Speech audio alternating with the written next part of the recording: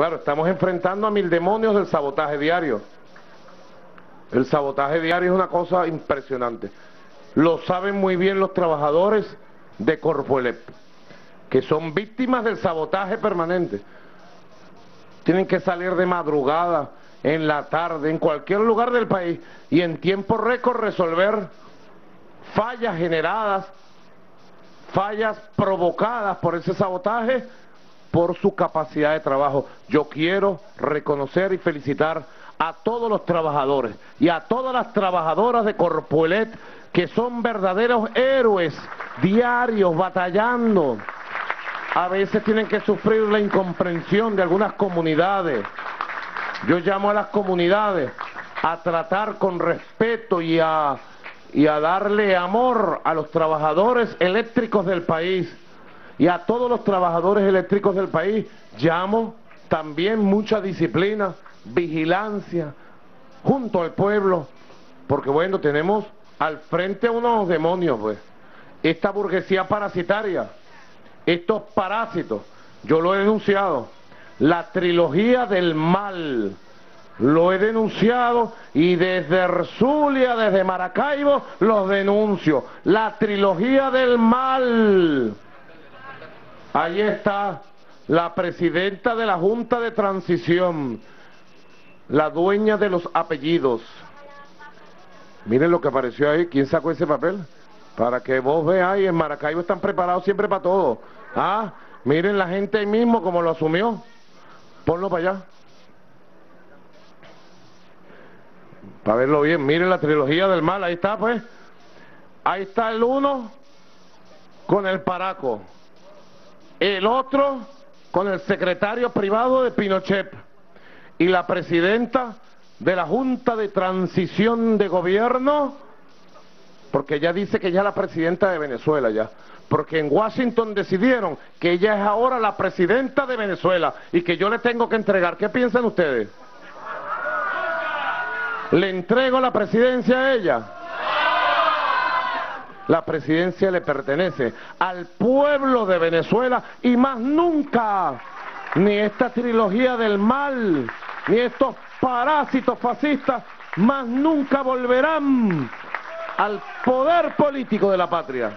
Más nunca volverán. La trilogía del mal, pueblo reconócelos. Estos son los enemigos de la patria.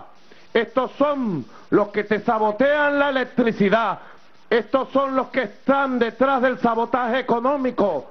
Estos son los que están detrás de la guerra psicológica contra Venezuela. Estos son los que se van a conspirar a Miami, a Washington. Estos son la trilogía del mal. Pueblo, reconócelo. Estos son los enemigos de la patria. Alerta al pueblo. Alerta y preparado, pues. El pueblo tiene que saber quiénes son sus enemigos. Estos son los enemigos de la patria y son los responsables del sabotaje eléctrico y del sabotaje económico. Y lo digo después que no se quejen. Cada vez tenemos más pruebas de la conspiración de esta gente contra Venezuela.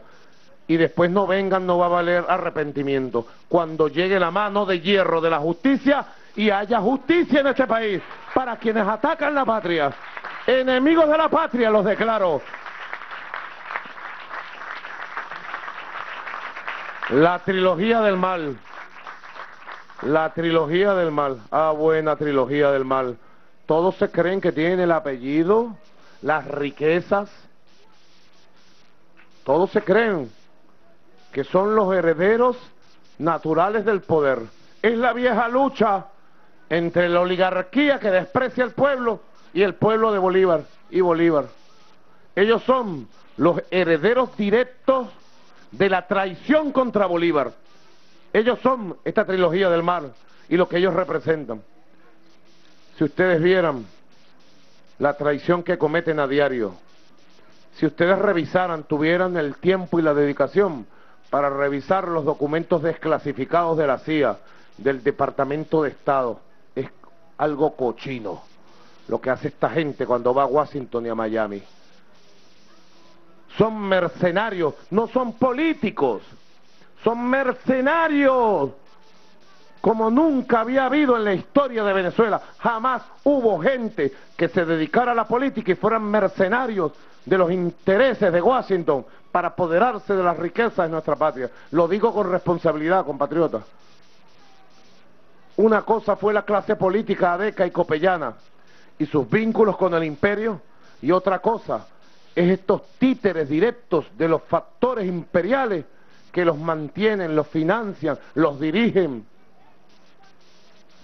uno por uno. Impresionante esa foto, pues, que está ahí. Esa foto lo dice todo. A mí me impresiona. ¿Quién habrá inventado esa foto? Verdaderamente, ustedes son geniales aquí en Maracaibo. Tenía que ser en Maracaibo, pues, que saliera la verdad de Venezuela. Ahí está. Ahí está el... Ahí está. Ahí está el menjurje ideológico en que se sustenta la derecha de parásitos fascistas que tenemos en Venezuela, saboteando el país. Es un menjurje entre Pinochet, Bush y el Paraco asesino. Entre Pinochet, Bush y el Paraco asesino. Esos son sus jefes, inspiradores, financistas. Alerta Venezuela, pues, alerta, alerta, alerta. Todos, alerta. Esa es la trilogía. Cuando usted se le vaya la luz, de repente, son cosas que no tienen explicación. En una hora de pronto usted está en su casa a las 10 de la noche, no es hora pico, no hay motivo y razón, ¡pap! sabotean un circuito. Detrás está la mano esta trilogía. Este sabotaje al abastecimiento, a las divisas, está la mano imperial. Yo lo voy a demostrar en estos días con datos suficientes. Yo sé que nuestro pueblo tiene conciencia de que estamos enfrentando, en seis meses yo se los voy a decir, yo hace seis meses a esta hora más o menos me estaba juramentando como presidente de la República Bolivariana de Venezuela ante la presencia de todos los jefes de Estado de América Latina y del Caribe que vinieron de derecha, de izquierda, del centro, todos estuvieron aquí. Gracias a Dios. Un día antes habíamos estado en UNASUR y UNASUR había aprobado por unanimidad los 12 países el respaldo al resultado de las elecciones, al sistema electoral y a Nicolás Maduro como presidente. Toda Sudamérica. Eso antes no se veía. Y yo me juramenté hace seis meses. Revisen ustedes si esta oligarquía mediática, si esta oligarquía económica y política me ha dado un solo día de tregua a mí uno solo. No ha habido un solo día de tregua, ni de cuartel. Yo tampoco lo pido, pues. Ni vengo a pedir tregua, ni vengo a pedir cuartel. Tampoco lo doy, ni doy tregua ni cuartel, pero tiene que haber conciencia en el pueblo de que esta oligarquía está apostando al fracaso de Nicolás Maduro, al fracaso del país. Y lo peor de todo, yo lo leí ayer, a menos que lo desmienta Delcy, compañera ministra de Comunicación e Información, a menos que lo desmienta el gobernador Henry Falcón, dio unas declaraciones muy peligrosas, a menos que los desmienta, digo yo, porque yo busqué, cuando vi las declaraciones, yo busqué la fuente y no conseguí nada distinto de lo publicado. El gobernador Henry Falcón ayer dijo, el nuevo gobierno que viene debe comenzar la reinstitucionalización del país. Que yo sepa, aquí las elecciones presidenciales están fijadas para diciembre de 2018. Ahora en diciembre de este año hay elecciones para alcalde y concejales. Que yo sepa, no tengo pensado traicionar al pueblo y renunciar a la presidencia, señor Henry Falcón. ¿O es que usted sabe algo que yo no sé? ¿O es que usted sabe algo que no sabe el pueblo de Venezuela? ¿A qué nuevo gobierno nacional se refiere usted? ¿Al de la encopetada de los apellidos que dice ser la presidenta de una supuesta junta de transición? Diga usted, Henry Falcón. Yo le doy 24 horas para que lo aclare. Si no, yo voy a pedir acciones de la Fiscalía por estas declaraciones temerarias que van contra la Constitución y el mandato legítimo que el pueblo me dio contra el gobernador Henry Falcón. Que responda por sus declaraciones. Yo lo dije. Tolerancia cero con la conspiración. Este tipo de declaraciones se parecen mucho a las que daban los conspiradores en el 2001-2002. No, tolerancia cero. Yo no voy a tolerar ningún tipo de conspiraciones. Y si usted, Henry Falcón, no se desmiente, y al contrario, usted reafirma esas declaraciones temerarias, retadoras a la Constitución, la Fiscalía tiene que actuar con fuerza, con fuerza, pase lo que pase. Mírese en el espejo de gobernadores que se creyeron que estaban en el copete del poder. Mírense en el espejo, usted tiene varios espejos en que mirarse. En Monagas, en Sucre, usted se puede ver en varios espejos, yo. Gobernador Henry Falcón, usted se puede ver en varios espejos. No vaya a creer que usted está en el copete de una popularidad y que si la justicia le tiene que llegar por su insolencia anticonstitucional, usted va a ser impune, nadie lo va a tocar. La justicia llegará. Le doy 24 horas, gobernador Henry Falcón, para que usted se desmienta. Es muy delicado lo que usted ha dicho. Se lo digo que es muy delicado. Así que todo el mundo consciente, pues, trabajando. Aquí tenemos una publicación que sale mañana. En la prensa regional, panorama, ¿no? De nuestro querido general en jefe, Rafael Urdaneta. Y la consigna dice exactamente lo que fue Rafael Urdaneta, el bolivariano leal. Que viva Rafael Urdaneta, el representante verdadero de la verdadera zulianidad. Rafael Urdaneta, un bolivariano a carta cabal. Bueno, compañero Jesse Chacón, excelente. Yo quiero, ya para terminar esta jornada, de la tarde de hoy a los seis meses del gobierno revolucionario que yo presido, hoy 19 de octubre, han sido seis meses de batalla. Yo lo dije y lo estoy cumpliendo.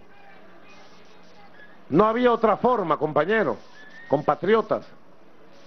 No había otra forma. Yo dije, el único que garantiza la continuidad de las misiones y grandes misiones que protegen al pueblo de Venezuela se llama Nicolás Maduro. Y así fue, así ha sido y así va a ser. Las grandes misiones y misiones continuarán consolidándose, continuarán conformándose, desarrollándose las grandes misiones Hoy estamos aquí viviendo el milagro de la vivienda número 50.000 de la Gran Misión Vivienda en el Zulia. Acabamos de ver la entrega de decenas de patrullas, motos. Aquí está nuestro ministro Miguel Rodríguez Torres, también mayor general ejército. Muchas gracias, compañeros. Patria Segura. Acabamos de ver al ministro Jesse Chacón con la gran misión eléctrica batallando con mil demonios. Y ahora yo quiero darle un pase porque nuestro vicepresidente ejecutivo Jorge Arriaza, yo pido un aplauso para Jorge Arriaza, vicepresidente leal, verdadero compañero de lucha, verdadero compañero. Ustedes saben lo importante que es tener al lado de uno en la batalla a un compañero de lucha, que uno confíe con los ojos cerrados en él. Así tengo yo un consejo de ministros, no solo un vicepresidente ejecutivo, tengo un consejo de ministros, de hombres y mujeres honestos, batalladores, leales a Chávez, leales a la presidencia que yo ejerzo, leales al pueblo, leales al pueblo. Yo quiero resaltar hoy, a seis meses, esos dos conceptos. Yo siento una gran satisfacción, Jorge, porque hemos sido leales verdaderamente al sueño de Chávez. A seis meses de mi gobierno puedo decir he sido leal al pueblo, he sido leal a Chávez, he sido leal al legado histórico de los libertadores.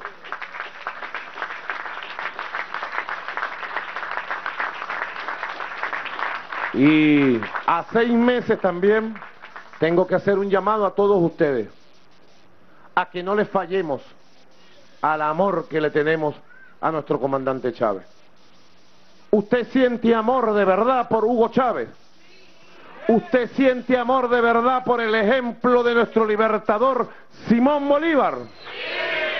¿Usted siente el amor profundo que lo hace vibrar por esta patria? No le fallemos al amor, no le fallemos a la patria, jamás le fallemos. Preparémonos con lealtad y amor para hacer una campaña electoral de alegría, de batalla, de verdad en la calle y para cosechar lo único que podemos cosechar el 8 de diciembre, la victoria popular en la gran mayoría de alcaldías de este país, incluyendo Maracaibo.